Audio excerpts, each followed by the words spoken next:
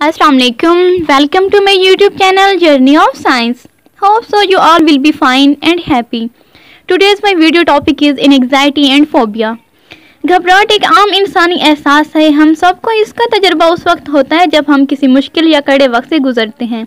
आमतौर पर यह खतरनाक नहीं है और हमें मोटिवेट करता है। ताहम अगर ये एहसास ज़्यादा शदीद हो जाएँ या बहुत अरसे तक रहें तो ये हमें उन कामों से रोक सकते हैं, जो हम करना चाहते हैं और उसके नतीजे में हमारी ज़िंदगी तकलीफदा हो सकती है। फोबिया किसी ऐसी मखसूस सूरत हाल या चीज़ का खौफ है जो ख़तरनाक नहीं होती और आमतौर पर लोगों के लिए परेशान को नहीं होती। इसके वेरियस सिम्टम्स हैं जो वक्त के साथ साथ शो होते हैं, जैसे हर वक्त परेशानी का एहसास होना, थकन का एहसास, तवज्जो मरकूज़ ना कर पाना चिड़चिड़ेपन का एहसास नींद के मसाइल दिल की धड़कन महसूस ना होना ज़्यादा पसीना आना पट्टू में खिंचाव और दर्द होना सांस का तेज़ी से चलना। सर चकराना बेहोश हो जाने का डर होना घबराहट के शिकार अफराद इन अलामत की वजह से ये समझते हैं कि उन्हें कोई शदीद जिस्मानी बीमारी हो गई है।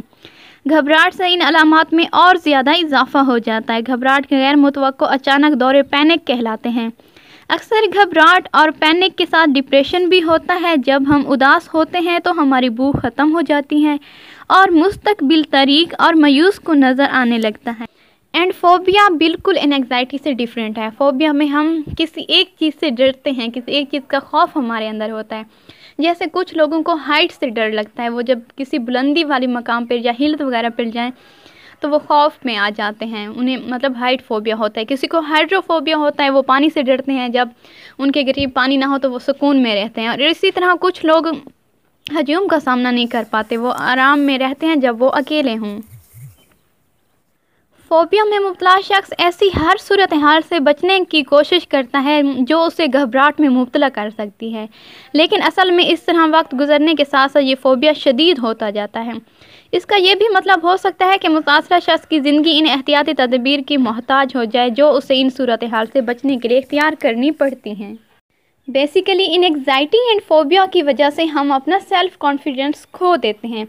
अगर हम किसी भी घबराहट या ऐसी सूरत हाल से दो चार हैं जो हमें परेशान कर रही है तो सबसे पहले हमें किसी फैमिली मेंबर से डिस्कस करना चाहिए। अगर वो भी नहीं कर सकते तो किसी स्पेशलिस्ट से कंसर्न करना चाहिए। एंड अगर आप कैफ़ीन या अल्कोहल ज़्यादा लेते हैं तो ये भी आप में एनजाइटी और घबराहट वगैरह पैदा कर सकते हैं। इसलिए कैफ़ीन और अल्कोहल वगैरह बिल्कुल बंद कर दें और स्मोकिंग तो इसकी मेन वजह हो सकती हैं। इसके अलावा अगर आप सोने से पहले कॉफ़ी पीते हैं, उसमें भी कैफ़ीन की कुछ मकदार मौजूद होती है तो वो भी ना पिया करें। एंड सबसे इंपॉर्टेंट आपकी नींद। आप प्रॉपर नींद कर रहे हैं तो आपको कोई इश्यू नहीं होगा। इसके अलावा अगर आप कामों की वजह से अपनी नींद पर कॉम्प्रोमाइज़ कर रहे हैं तो आपको हर बीमारी, हर घबराहट और हर टेंशन का सामना करना पड़ेगा। इसलिए अपनी रूटीन सबसे पहले ठीक करें और इन चीज़ों से दूर रहें।